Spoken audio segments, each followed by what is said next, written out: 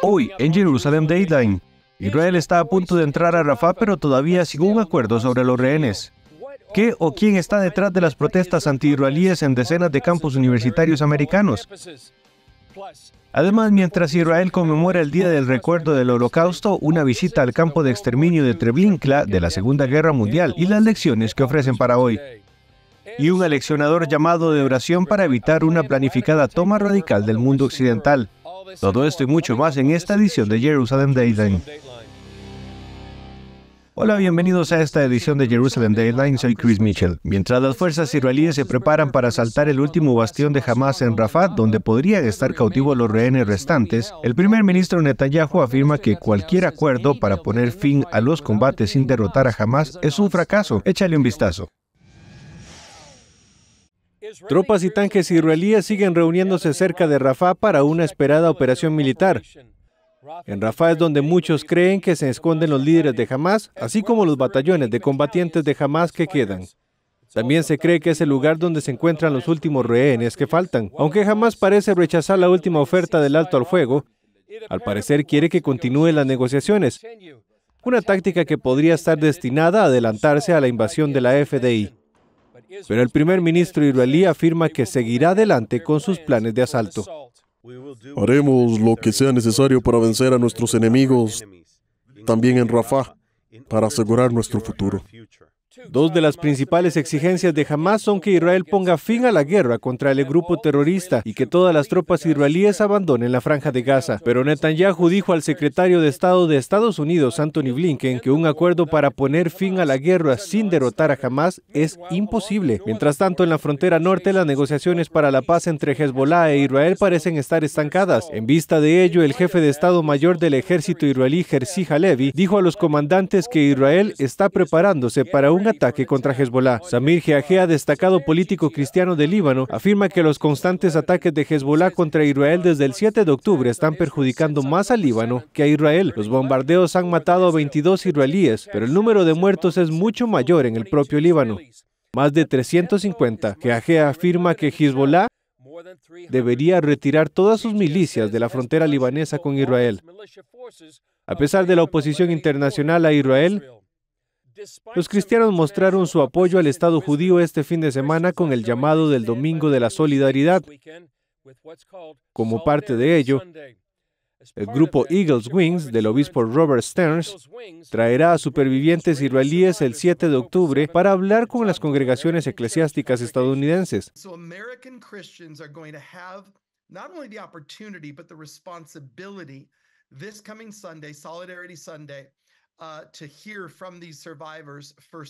Stearns dice que Estados Unidos se enfrenta a la misma batalla que Israel.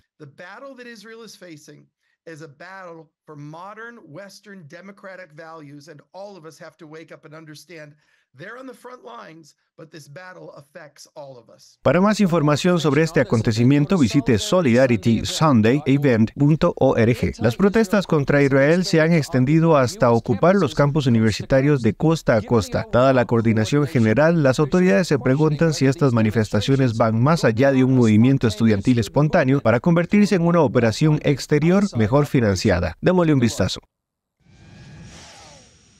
Siendo un estudiante judío en la Universidad de Michigan en este momento, es definitivamente un momento aterrador e incómodo. Hay mucho antisemitismo en nuestro campus y es extremadamente inquietante. Jack Lansing describe en qué se está convirtiendo ser estudiante judío en la Universidad de Michigan.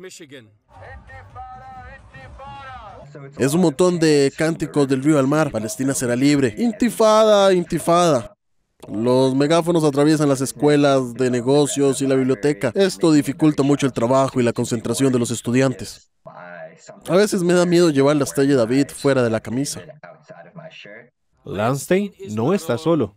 Lo que está haciendo es señalar con toda claridad a los estudiantes judíos que no son bienvenidos en el campus que no están siendo protegidos por los dirigentes de la universidad del modo en que protegerían a cualquier otro grupo del campus. El doctor Jay Greene, experto en política educativa de Heritage Foundation, dijo a CBN News que ve indicios que apuntan a un esfuerzo más profesional y organizado detrás de estas protestas. Solo tenemos pequeños indicios de ello, y los indicios son que entre los financiadores se encuentra la Fundación Soros para una sociedad abierta, el Fondo de los Hermanos Rockefeller, y también hay algunos vínculos con organizaciones extranjeras. Hemos visto que personas vinculadas a organizaciones extranjeras han participado en cursos de formación y que también hay puntos de discusión y documentos compartidos. Así que está bastante claro que se trata de un esfuerzo financiado y organizado desde el exterior. Greeny también encuentra estrategias familiares que se repiten en los distintos campus. Una de las señales comunes es que están decididos a levantar campamentos para que sea más difícil desalojarlos, pero nunca tienen que abandonarlos. Esa es una señal. Una segunda señal es que se están instalando en medio de espacios públicos dentro de la universidad para que la gente le resulte difícil ir y venir del trabajo a las clases sin tener que pasar por estas protestas. Así que están cerrando de hecho el funcionamiento normal de estas universidades. Y en tercer lugar, que a menudo son donde se celebran las graduaciones dentro de unas semanas. Eso también es internacional, ya que esas ceremonias próximas ejercen mucha presión sobre las universidades. Greeny también observó una fuerte conexión con Oriente Medio. Hemos visto a gente de Oriente Medio venir a darles información. Y la mayor conexión que podríamos identificar entre Oriente Medio y estas protestas es el gran número de estudiantes de Oriente Medio que participan en ellas. También añade que ese elemento plantea un dilema a muchas de las escuelas. También hemos visto que este es uno de los motivos por los que las universidades se han mostrado recias a reprimir las protestas, a detener o suspender a los estudiantes por miedo a poner en peligro sus visados extranjeros. Si los suspenden o los detienen, podrían tener que deportarlo, y las universidades son muy cautelosas al respecto, en parte porque estos flujos de ingresos de estudiantes extranjeros son una importante fuente de ingresos para ellas. Hay donantes muy importantes en el extranjero a los que desean mantener contentos.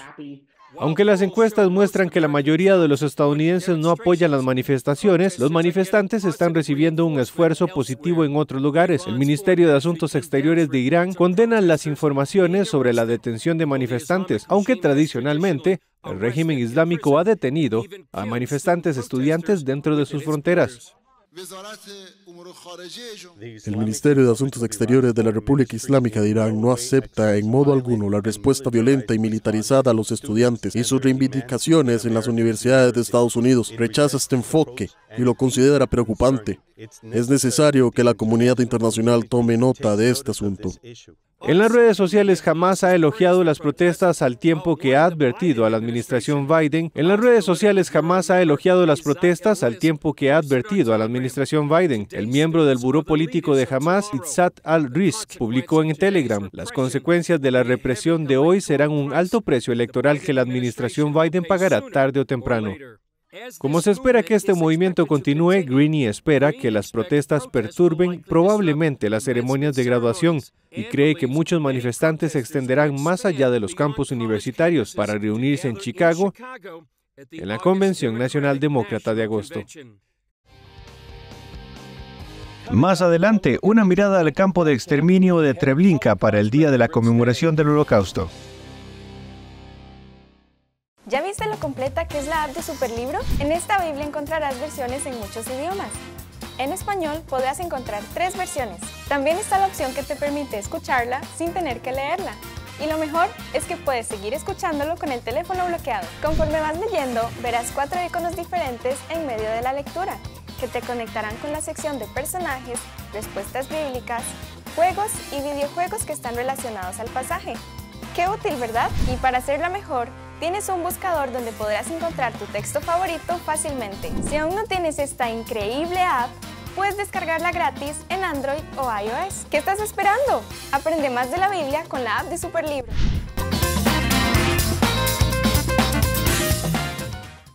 Creemos que es fundamental estar bien conectados e informados, compartir noticias importantes y concisas, saber lo que pasa en todo el mundo y conocer cómo esto nos repercute. Soy Kevin Valverde y les estaré acompañando aquí en Mundo Cristiano.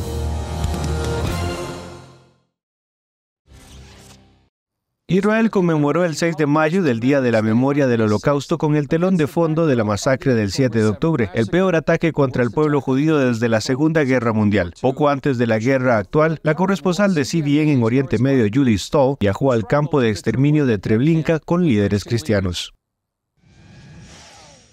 Durante la Segunda Guerra Mundial, esta parte de Lublin, Polonia, se hizo conocida como la ciudad de los alemanes, debido a la presencia de nazis uniformados de negro. Y fue desde aquí desde donde planearon el asesinato de más de dos millones de judíos polacos. Estos fueron los asesinos de escritorio, eran burócratas, secretarios, planificadores, oficiales subalternos. Ellos organizaron este asesinato y fueron tan responsables, si no más, que los que realmente cometieron el asesinato. Desde aquí, los escuadrones de la SS organizaban los horarios de los trenes, enviaban unidades de matanza a las ciudades judías o reunían a los judíos para enviarlos finalmente a uno de los campos de exterminio polacos. Polonia se convirtió en el lugar de la muerte porque es donde vivía la mayoría de los judíos de Europa. Así que esto era simplemente una cuestión de convivencia y ah, la logística. Desde pueblos como estos, los trenes transportaban a decenas de miles de judíos a través de estos hermosos bosques hacia su destino final, la muerte. El campo de exterminio de Treblinka solo estuvo en funcionamiento 15 meses, pero durante ese tiempo los nazis asesinaron a 925 mil judíos. Lo convierte en uno de los peores lugares de masacre del mundo. He sabido la palabra Treblinka durante muchos, muchos años. Pero no basta con conocer esta historia. Y estar aquí ahora es estar realmente impactado. Probablemente lo más duro que tengo que hacer es reconocer los malvados y perversos que puedan llegar a ser los hombres. Solo el impacto de cómo las personas que son solo gente común y corriente pueden ser tan frías durante tanto tiempo y eh, es simplemente impactante y horrible. Y pienso en el día en que vivimos y cómo esto podría ser paralelo a nuestro tiempo de hoy en día. Puedes escuchar los números, pero cuando empiezas a entender a los individuos, te impacta de una manera totalmente diferente y te das cuenta de nuevo de lo que había detrás de este mal, esta destrucción, el engaño. Y tristemente y muy desconcertantemente creo que vemos algunas de las mismas cosas en el mundo de hoy. Por eso, Teresa Garner señala el ejemplo de Janusz Korczak, un pediatra judío polaco que rechazó el asilo para ir a Treblinka con los niños que cuidaba en el orfanato de Varsovia.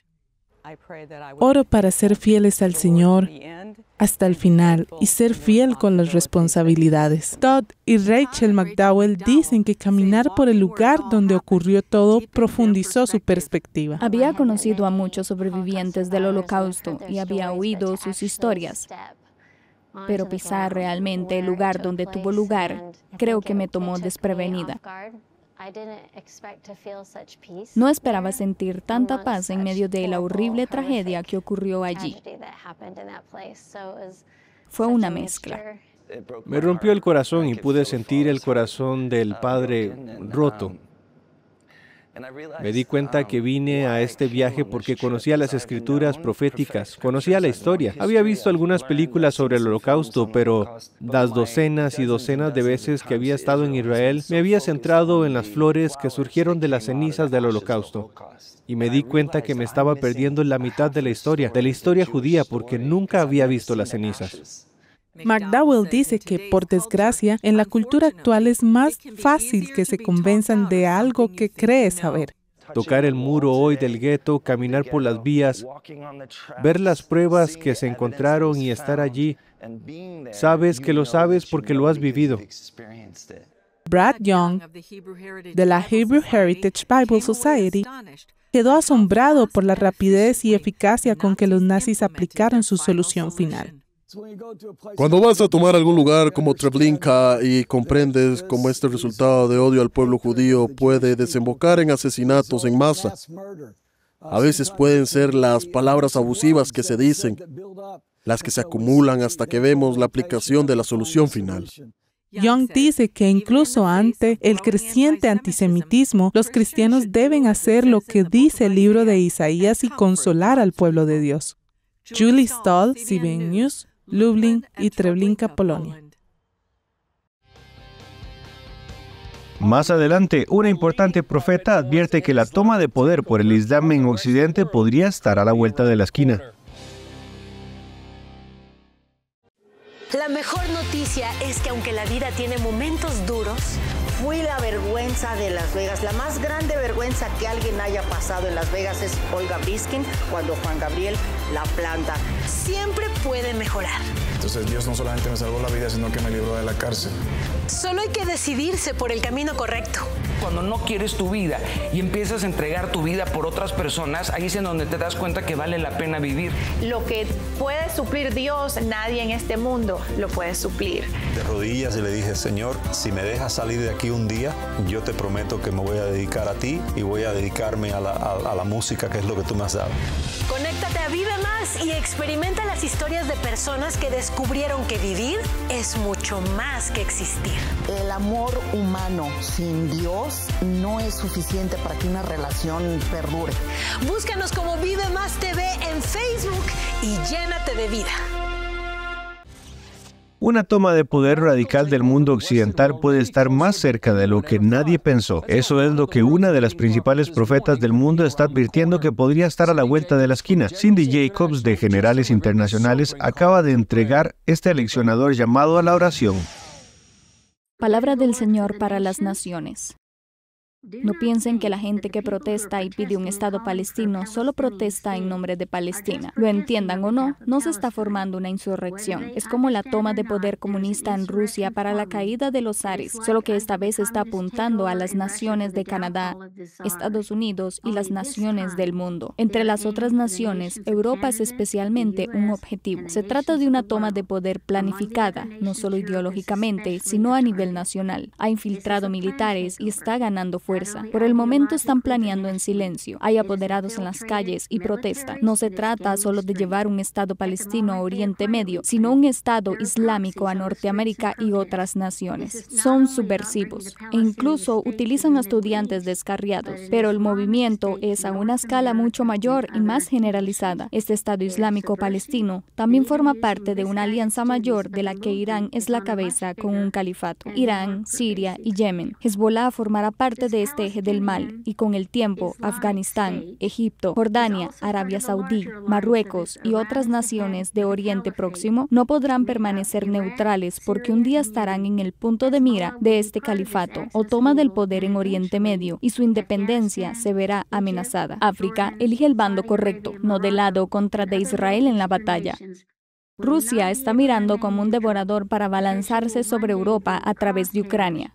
China se ha contenido mediante la oración para no engullir Taiwán, Corea y Asia.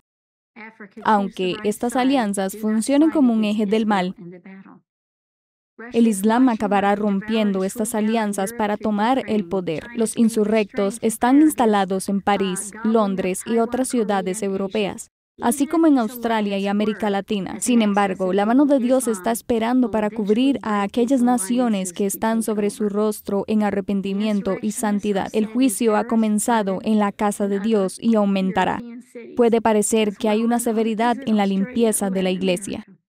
No habrá imagen de maniobra para aquellos que piensan que nadie ve. El juicio, este juicio es para limpiar la casa de Dios con el fin de dar a la iglesia la autoridad en la oración para detener lo que viene. Las cubiertas se están llenando de pecado oculto. Aquellos en el movimiento de oración van primero porque algunos de ellos se detuvieron al frente mío, dice el Señor, y trajeron inmundicia y mezcla ante el trono. Es tiempo de confesar antes de que seas expuesto y clamar a mí para que te ayude mientras navegas a través de las consecuencias. Para aquellos que verdaderamente me aman, más que esconder su pecado, yo los ayudaré, aunque será difícil. Tú puedes escoger ir por el camino difícil o por el camino de la santidad y el arrepentimiento, porque yo estoy celoso por mi avivamiento y el levantamiento de los reformadores para tus naciones. Los corazones de muchos de los que están en este nuevo movimiento de Dios no deben ser aplastados y oscurecidos por el pecado de la iglesia. Yo soy el fuego refinador, dice el Señor. Yo soy la santidad personificada. Clama para ser santo y lavado. La santidad me pertenece, dice el Señor. No toleraré la mezcla. Aunque parezca que no he visto el pecado de algunos en la iglesia, conozco todas las cosas. Y voy a revelar un lado de mí que muchos no han visto en su vida. Si la iglesia se arrepiente, voy a ceder. Si la iglesia se arrepiente, me ocuparé de las consecuencias mundiales que se avecinan y daré sabiduría a los líderes de sus naciones. Porque el gobierno necio es una consecuencia del pecado.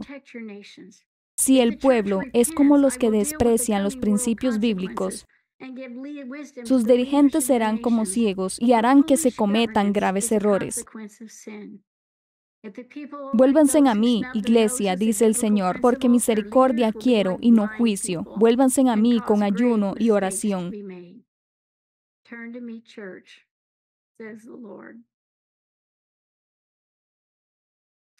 Y vuélvanse de sus malos caminos. Yo estoy esperando, dice el Señor, para oír vuestros clamores y sanar vuestra tierra.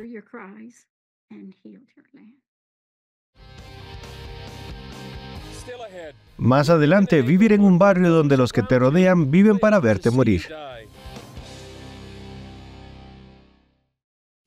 La mejor noticia es que aunque la vida tiene momentos duros, fui la vergüenza de Las Vegas. La más grande vergüenza que alguien haya pasado en Las Vegas es Olga Briskin cuando Juan Gabriel la planta.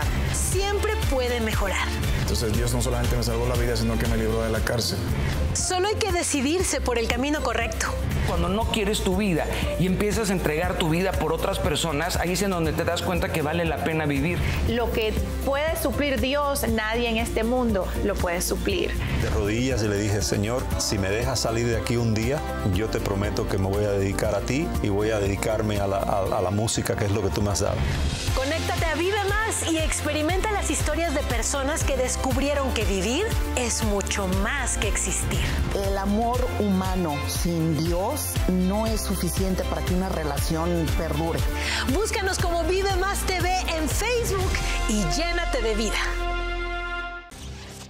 Imagínese estar rodeado de vecinos que viven para verle morir. Esa es la fría realidad de todos los que viven en Israel. El analista militar y exoficial de la FDI, Amir Tzatfati, informa sobre este y otros acontecimientos en una audiencia internacional. Hace poco se pasó por nuestro estudio para hablar sobre el estado actual de Israel y su concordancia con la profecía bíblica. Amir Sarfati, me alegro de estar contigo. Tiene seguidores en todo el mundo. ¿Cómo describiría la situación de Israel en estos momentos, unos cinco meses después del 7 de octubre? Sí, bueno, en primer lugar, el 7 de octubre es otra manifestación del intento del enemigo de cortarnos de ser una nación. Que los enemigos, que el nombre de Israel no sea recordado más. Este es el espíritu del Salmo 83, pero creo que con todo mi corazón que estamos enfrentando ahora mismo en el reino físico, una guerra que será mucho más grande que esta. Esta es una guerra de Israel contra los proxies de Irán. Nada más que eso. En realidad no luchamos contra el ejército libanés o el ejército sirio o el ejército egipcio o el ejército jordano. No estamos luchando contra ellos, estamos luchando contra los proxies, organizaciones terroristas, los Houthis, el Hezbollah, Hamas y las organizaciones de resistencia en Siria. Así que será, así que ahora no estamos exactamente en guerra contra países en sí, pero la Biblia dice que van a ocurrir dos cosas. Damasco va a caer y será completamente inhabitable. Eso es Isaías 17, ¿verdad? Exacto. Lo que creo que nos llevará al famoso relato de Ezequiel de los capítulos 38 y 39, donde Israel, siendo fuerte, seguro y próspero, será atacado desde el norte por una coalición liderada probablemente por Rusia y Turquía, a la que se unirán Irán. Así que ya estamos viendo esta coalición formada. Estamos viendo que todo se está moviendo. Estamos viendo la, yo diría, una decadencia de un imperio cuando miramos a Estados Unidos en este momento. Y Ezequiel es todo acerca de Israel siendo atacado cuando nadie viene a ayudar y la única ayuda que va a ser el del Señor, que va a hacer eso de una manera sobrenatural. No va a ser la FDI o bombas o los F-16. No, va a ser algo mucho más grande que eso. Así que ve lo que está ocurriendo ahora como el preludio de algo mucho mayor. Sí, nosotros, mira, pasamos por un mini holocausto, es terrible. Todavía estamos bajo muchos ataques, parece que la verdadera guerra aún no ha comenzado con Hezbollah. Pero no somos cosas que vayan a destruir y aniquilar a Israel. En todo caso, Israel debería de que países como Rusia vengan contra nosotros, países como Turquía vengan contra nosotros. Y cuando eso ocurra, será un juego diferente. Así que sea lo que sea que estamos viviendo ahora, esto no es solo el aperitivo. Y de nuevo, todo esto, no tengo miedo, creo en Dios. Al igual que nos va a cuidar a través de, este tiempo, creo que Dios ha revelado a su profeta que va a ser una victoria increíble, decisiva, pero va a ser una piadosa, va a ser una que será sobrenatural. Entonces, si estos días vienen ahora, son muy desafiantes, muy difíciles aquí en Israel y en todo el mundo, pero vienen días más desesperados. ¿Cómo nos preparamos para esto? Bueno, en primer lugar tenemos que conocer la Biblia. En primer lugar, quiero decir, si no entendemos a Dios, lo que Dios hizo, está haciendo y estará haciendo de acuerdo con lo que dijo la Biblia, seremos pusilánimes, perderemos el ánimo, estaremos muy, muy temerosos y con ansiedad. Y eso se irradiará a la gente que nos rodea, que nuestra fe no es exactamente tan fuerte. Creo con todo mi corazón que el pueblo de Dios, más que en cualquier otro momento, debe levantarse ahora mismo con Él, no solo conocimiento, con la completa convicción de que Dios, una vez más, tal como lo hizo antes, va a intervenir y vamos a ver una gran victoria. Pero de nuevo, la pregunta es, ¿quién va a tomar el crédito por ello? ¿Quién va a tomar la gloria por ello? Yo solo oro y espero que no cometamos el error que cometimos en 1967 y que seamos lo suficientemente humildes para comprender que será duro como lo fue en 1973, pero que Dios puede sacarnos adelante. ¿Son estos los días que habló Jesús de cuando veas estas cosas, mira arriba porque tu redención está cerca? Absolutamente. Vemos que suceden cosas diferentes en todo el mundo. Estamos viendo el creciente antisemitismo, pero también estamos viendo la preparación en Israel para un templo Estamos viendo la preparación del enemigo para venir con una coalición contra nosotros. Estamos viendo un éxodo masivo de gente judía del hedoísmo y el secularismo de vuelta a los brazos del judaísmo. Así que hay que volver a él. Así que estamos viendo cómo suceden cosas asombrosas a nuestro alrededor. Y como siempre digo, y lo aprendí de un buen amigo mío, las cosas no se están desmoronando, están cayendo en un lugar correcto. Estas son dos poderosas palabras proféticas que nos instan a orar, buscar al Señor y gritar por su misericordia, como dice en segunda de Crónicas 7:14, si mi pueblo sobre el cual mi nombre es invocado se humillare y orare y buscare mi rostro y se convierten de sus malos caminos, entonces yo oiré desde los cielos y perdonaré sus pecados y sanaré su tierra. Bien, esto es todo por esta edición de Jerusalem Dayline. Gracias por acompañarnos. Recuerde que puede seguirnos en todas nuestras redes sociales y acceder a los contenidos de CBN a través de CBN News y otras aplicaciones de CBN. Por favor, sigan orando por Israel en este momento crítico. He aquí el nombre de algunos de los rehenes por los que hay que orar. Yarden, Shiri, Ariel, Kafir Vivaz, Noah Argamani, Herch Goldberg Pauling, Karina Ariev, Eliyahu Cohen, bueno, soy Chris Mitchell. Nos vemos la próxima vez en Jerusalem Dayland.